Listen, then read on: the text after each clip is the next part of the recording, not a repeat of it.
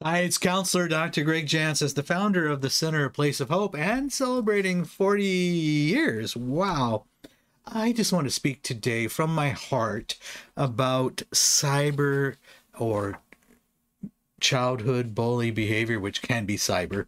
Um, it, let me just say this bully behavior, which is emotional abuse, can and does have long term psychological effects. Let me say that again bully behavior, whatever form, cyber, in person, is a form of emotional abuse and it degrades a person and can have lifelong psychological effects.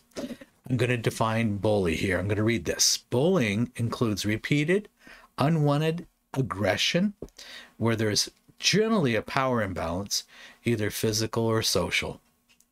A bully maybe we've all had instances growing up where there's been a bully, but I'm thinking about ongoing, degrading bully behavior that really is emotional abuse.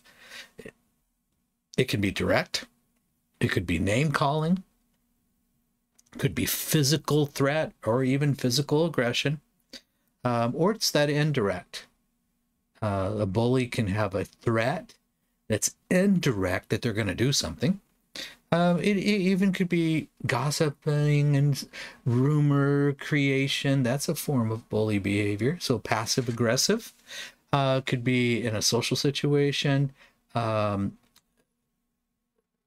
humiliation, uh, causing division socially. So there's bully behavior comes in all different forms.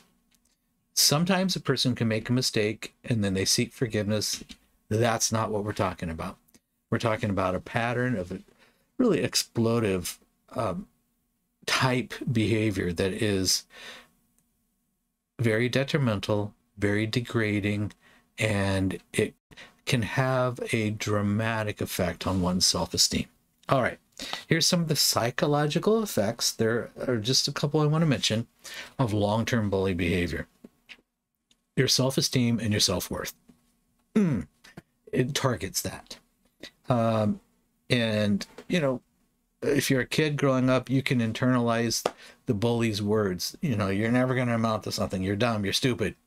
And, and you internalize those messages, which means I begin to say them to myself and I begin to believe them, which causes my self esteem and my opinion about myself to really diminish. Number two, there is long term uh, mental health effects higher rates of anxiety, anxiousness, uh, difficulty in attachment in relationships, uh, depression that is chronic. Uh, as well as what we're going to call post traumatic stress disorder symptoms, can affect your sleep, uh, your ability to again have close or intimate relationships, uh, fulfilling relationships, trusting relationships. This all can go back to the root of a pattern of being bullied early on in your life. Um, there is some great challenges to my next statement, and that is I've got to find a place of forgiving, forgiving myself, and I'm not going to brush over that.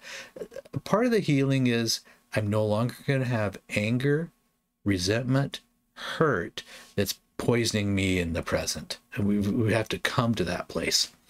Um, there is, that could be a level, the term that's oftentimes used is self compassion, putting in perspective what really happened to you and how it was dramatic, how it was damaging.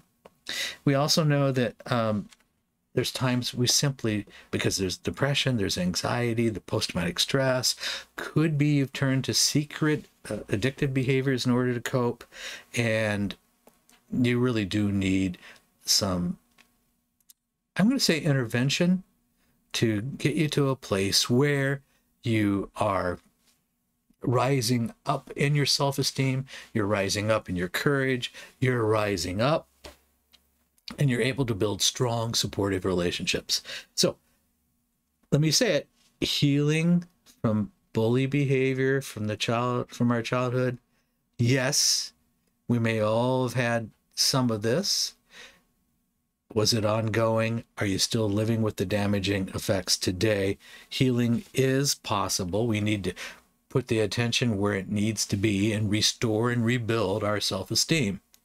Uh, take a look for more information um, here at the blog bowling and its long term effects uh, on our life.